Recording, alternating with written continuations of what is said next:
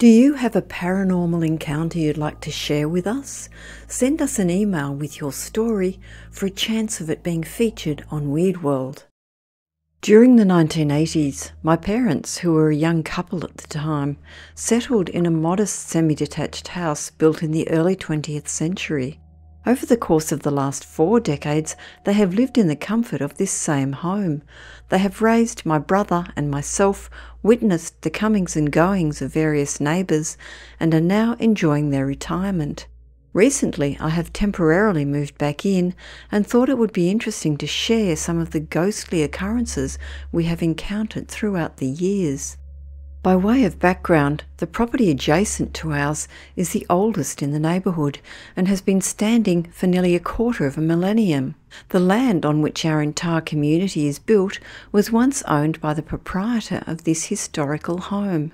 According to local legend, the owner met an untimely demise either by being slain over the ownership of the land or through mental illness leading to self inflicted harm occurring in his barn, a structure which still stands today and which is situated adjacent to our backyard. Our house, which was constructed around a century ago, was previously owned by another family who informed my parents that a tenant had passed away due to a heart attack in what is now my bedroom. Based on the encounters my family and I have experienced over the decades, we believe that our home may be home to two spirits, one of which appears to be benevolent and the other malevolent. Our awareness of the benevolent or protective ghost crystallized in one particularly remarkable incident, which occurred in such an inexplicable manner that I usually refrain from sharing it. However, a few examples of other occurrences we have experienced, some of which occurred prior to my birth and have been relayed to me, are as follows.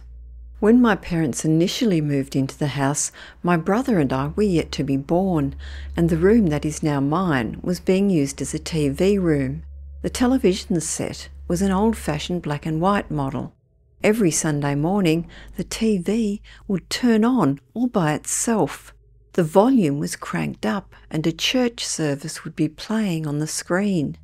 My parents have said that the service was hard to make out, as the picture seemed staticky and the audio somewhat distorted. If they switched the channel, they were unable to switch it back to the service, as if it was playing on a channel that we did not receive. Turning off the TV was not always an option either, as at times it would simply turn itself back on, even louder than before. During the early 80s, my father worked full time while my mother remained at home to study for her CPA exam.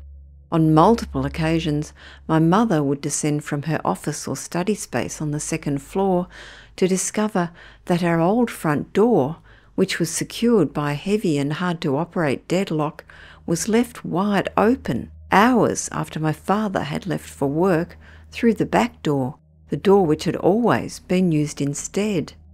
Family members who often stayed over or babysat also reported many negative experiences. One instance was when my mother's two younger brothers stayed in our home while my parents were on a prolonged vacation. One of them slept in my brother's room, the other slept in my room. Sometime during the night, the uncle who was sleeping in my brother's room was awakened by the sound of his toiletry bag, which he had left on a shelf in the room, being thrown against the opposite wall. This activity in my brother's room would recur continuously years later, but this time with a valuable Lego set that my brother had on display on his bookshelf, when time and time again it would be thrown against the opposite wall with enough force to break it. Prior to renovating the house in the early 2000s, there was one bathroom that was extremely unnerving to use. As a child, I thought it was normal to hear the sound of footsteps approaching from down the hall and hands banging on the door. I convinced myself it was due to air pressure.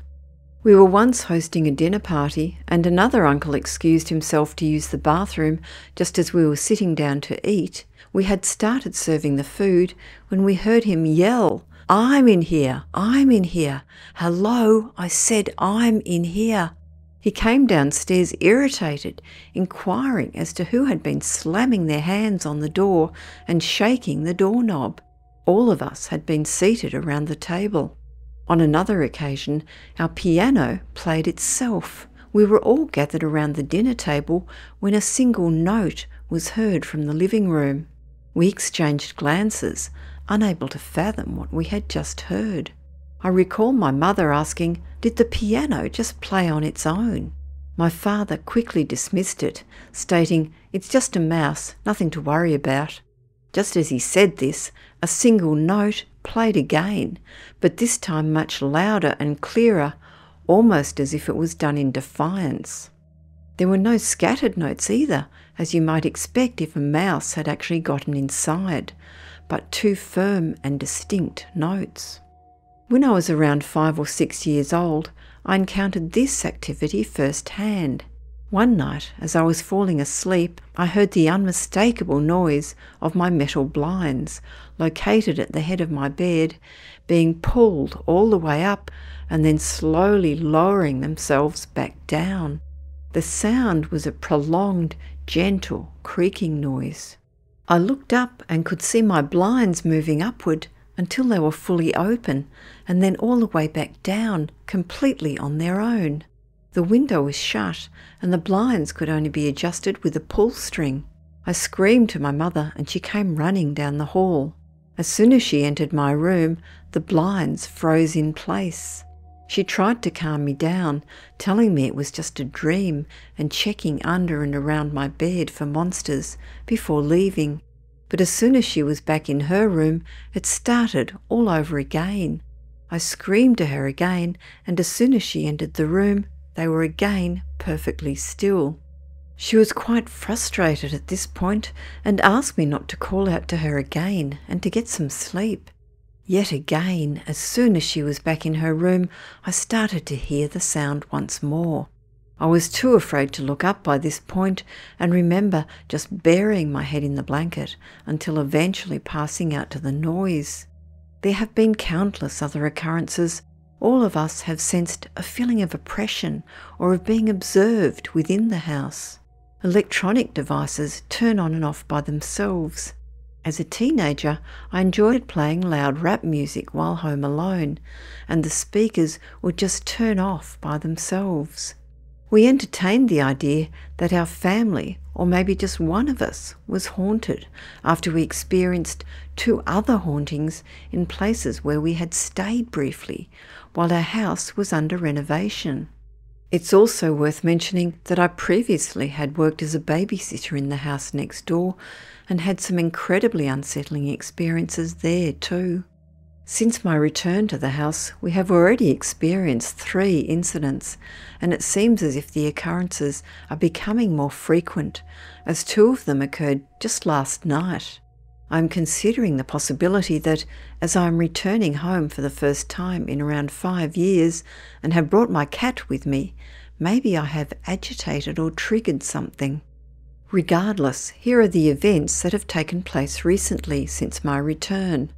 I am currently sleeping in my brother's former room, which used to be home to our family's computer and now serves as a small office. My cat is very active at night, so we place her to rest alone in my old room, where we keep her litter box, food, and so on. As you may recall, this is the same room as mentioned previously, which has a history of peculiar occurrences. A few nights ago, at 4 am, I was awakened by a sense of pressure on my bed. Initially, I thought it was my cat, as it felt like alternating steps approaching me. However, the heavy weight being exerted was enough to cause the bed springs to start making a noise, so this quickly seemed unlikely. It also quickly occurred to me that my door was closed and the cat was asleep in the next room. Just as this thought became apparent to me, the weight started to shift. It felt like a large person had laid down directly behind me. Once again, it sounded like the bed springs were groaning and shifting as the weight settled down. I was utterly paralyzed, but I eventually managed to turn on the light and check the surroundings. As expected, there was nothing or nobody there. However, this is when things became even more strange. I had ended up staying awake until around 5 a.m. that night, trying to calm down and enter a state of mind that would allow me to fall asleep again. Around 4:30 a.m., I heard my father get up to use the bathroom. The next morning, he asked me why my light was on, and I mentioned to him what at the time I had dismissed as sleep paralysis. He told me what had happened to him Apparently, he had also woken up shortly after 4 a.m. He wasn't sure what woke him up, but as he was trying to fall back asleep at around 4:15 a.m., he heard my mother whisper his name, Dave. He turned around and my mother was fast asleep. She has sleep apnea and sleeps with a CPAP machine, a mask that fits tightly against her face, which she is unable to speak through. It definitely wasn't my mother. My father is a skeptic and maintains that he must have imagined it, but I could tell he felt uneasy about it. The experiences we've had in our home over the years have left us with more questions than answers. We've lived with these hauntings for many decades, and though we've come to accept them as part of our everyday lives, they continue to leave us feeling unsettled and on edge. You can only rationalize something of this nature for so long. Eventually, you need to entertain the notion that maybe there are forces out there we do not yet understand.